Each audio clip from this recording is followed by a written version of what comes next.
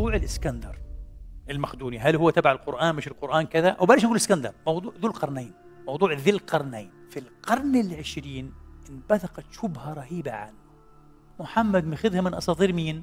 من أساطير pseudo كالستينس الفضل الحقيقي لسيدنا مولانا أبو الكلام آزاد مين هو ذو القرنين هذا؟ وإيش قصته؟ طلع ذو القرنين هو قورش الإخميني يا حبيبي هو قورش الإخميني وبالأدلة والحفريات وعنده قرنين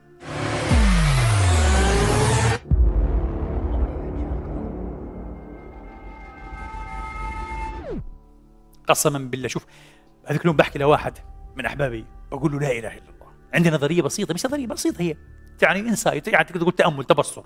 قبل سنوات من أكثر من 20 سنة. لليوم بشوفها صحيحة وسليمة. إيش هي؟ وذكرتها في خطبتي عن إيش؟ عن إسكندر المقدوني. هل هو إسكندر أو هو ذو القرنين تبع القرآن؟ ومش عارف مين. أيام ذكرتها برضه. إيش هي؟ وبتحس هذه أحد أدلة وجود الله كمان؟ من بين ألوف ألوف الأدلة على فكرة. هذا واحد منها إيش هو؟ لا إله إلا هو لا يسمح سبحانه وتعالى في أي حقبة زمنية في أي era يعني أي ظرف زمني لا يسمح بانبثاق أو بروز شبهات جديدة من صنف معين إلا بعد أن يكون هيأ ماذا؟ الجواب عنها من الصنف ذاته لا إله إلا الله فهمتوا علي؟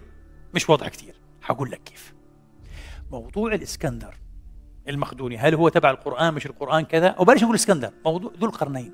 موضوع ذي القرنين. صح؟ في القرن العشرين انبثقت شبهة رهيبة عنه. لما قرأتها أول مرة بتخضك. يا ربي معقول؟ إيش إيش الشبهة؟ إيش الشبهة؟ قصة الله حكاها قال لك وين؟ مش قصة قصة كبيرة. تطعن في القرآن قال. ليش؟ قال لك يا سيد العزيز الإسكندر الكبير ذا جريت هذا كان له مؤرخ اللي هو ابن أخو أرسطو. أرسطو أرسطو أرسطو عمه كان. وأرسطو أستاذ مين الإسكندر درسه درسه في مقدونيا اسمه كالستينس. اسمه كالستينس. وفي الأخير غضب عليه الإسكندر الإسكندر كان مهبول. آه عنده شذوذ جنسي وعنده شذوذ عقلي وكذا يعني بيعمل أشياء مش مش كويسة. بيعمل يعني هذا كان إيه مؤرخك. حطه في السجن ومات موته. من أيام انقطعت علاقته مع أرسطو. أرسطو زعل منه وقطع علاقته بالإسكندر. المهم قصة ثانية هذه.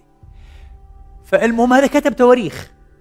كتب تواريخ عن الاسكندر ورحلاته وفتوحاته في الشرق والغرب وكذا. ما وصلتش معظمها لم يصل.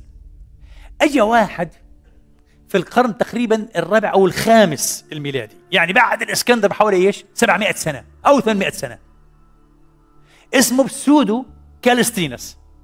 كالستينس المزيف الزائف. لأنه اخذ اسم كالستين سمى حاله كالستينس هو مش كالستينس هو سمى حاله هيك. فالمؤرخين سموه إيش؟ الزائف. pseudo. حلو. وألف تاريخ عن الإسكندر. قال هذا تاريخ الإسكندر ورحلاته. تاريخ أسطوري كذب ما أنزل الله به من سلطان. ولا له علاقة بالتواريخ الحقيقية تاعت مين؟ كالستينس حلو؟ المشكلة إنه pseudo كالستينس هذا تاريخه كتب باللغة القبطية ايامها بس ما وصلناش الآن. وباللغة الحبشية وعرف في مصر وعرف في الحبشة. صح؟ حلو. يذكر فيه أن الإسكندر أن الإسكندر قام بثلاث رحلات. رحلة بلغ فيها مغرب الشمس. بهالترتيب هذا. القرآن إيه؟ تكلم عن مغرب الشمس صح ولا لا؟ ورحلة بلغ فيها مطلع الشمس. ورحلة راح فيها على سد يأجوج ومأجوج عملوا مذكور هذا في سودو كالستينس إيش؟ قال لك معناها محمد قال لك ويسألوك عن ذي القرنين وذي القرنين وقصة وعمل لي قصة ومغرب الشمس ومطلع الشمس وبعدين إيش؟ إيه يأجوج ومأجوج بابا بابا بابا. محمد مخذها من أساطير مين؟ من أساطير سودو كالستينس المشهورة كانت عند الأقباط وفي الحبشة وعلاقة الجزيرة العربية بالحبشة معروفة صح ولا لا؟ وبروحوا وبيجوا يعني في في علاقات كان تجارية وكذا. إن أنسى. بالله عليك. هذه الشبهة. لو عرفت قبل مئة سنة في القرن التاسع عشر القرن الثامن عشر لعملت مصيبة كبيرة جدا جدا. هذه لم تعرف إلا إيه في آخر تقريبا إيه؟ ثلاثين أربعين سنة. العجيب أنه قبل أكثر من خمسين سنة اكتشف في منطقة بعيدة عن إصفهان تقريبا أو كذا. المهم في منطقة إيرانية موجود موجود موجود وكذا معروف ها تمثال لقورش الإخميني مؤسس الأسرة الإخمينية وعنده قرنين. وتتالت الدراسات عن قورش الإخميني. سبحان الله. عنده رحلة للمغرب ورحلة مطلع الشمس ورحلة تماما هي رحلة السد يأجوج ومأجوج. وهذا تاريخ حقيقي. وهذا مسجل عند الايه؟ الأرمينيين باللغة الأرمينية. ومسجل عند الفرس.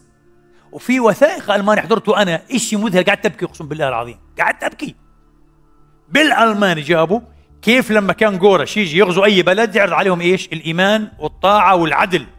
ويعرض عليهم خطة كثير ممتازة. الرحمة وكذا وكذا. وإلا بعذبكم عذاب شيء. قشعر بدني. نفس الشيء اللي الله انطق به مين؟ ذي القرنين تبع القرآن.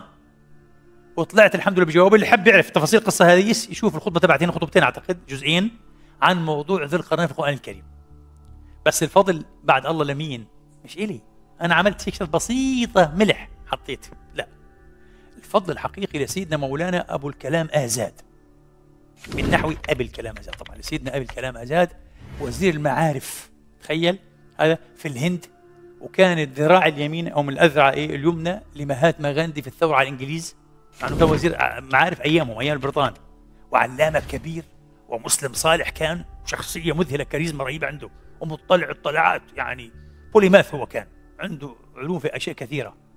فسر القرآن الحمد لله تفسيره عندي بالإنجليزية. فسر القرآن في ثلاث مجلدات. لما وصل لسورة الكهف وقفت مع الشبهه هذه مين هو ذو القرنين هذا؟ وإيش قصته؟ وليش راحوا أجوا؟ ما عرفش إيش القصة؟ عارفين كم سنة يقرأ في الموضوع هذا وسافر لإرمينيا أكثر من سفرة واضطر إنه يتعلم بعض اللغات الأخرى. كم؟ رحمة الله عليه عشر سنوات. رضي الله عنه وأرضاه.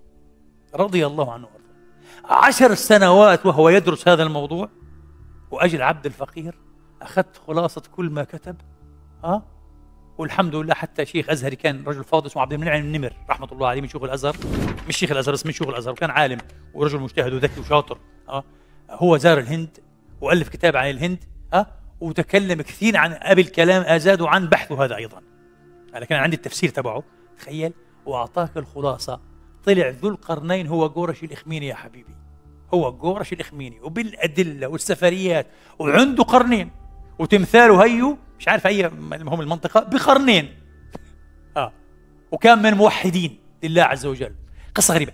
فبقول سبحان الله العظيم. لو هذه الشبهة اللعينة تاعت كالستينس اللي عايش في القرن الخامس أو الرابع الميلادي من قبل النبي. من قبل النبي. لو انتشرت قبل 100 سنة لكفرت الناس. صحيح؟ أي واحد بيحترم حاله كذا بالاسلام أساطير. ماخذينها من إيه؟ من سودو كالستينس تفضل. معناها خلاص. لا إله إلا الله. لم تسمح القدرة الإلهية ولم تأذن أن تنتشر هذه الشبهة إلا بعد أن كان الجواب ماذا؟ حاضرا